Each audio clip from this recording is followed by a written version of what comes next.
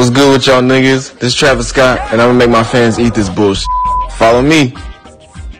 Alright, so this a regular ass f- quarter pounder with lettuce, bacon, onion, and cheese. The fries? Sometimes I grab one and dance like a fuck retard, or I do this like I'm sucking dick. Oh yeah, and the Sprite, 75% ice. So you ain't doing shit but drinking water.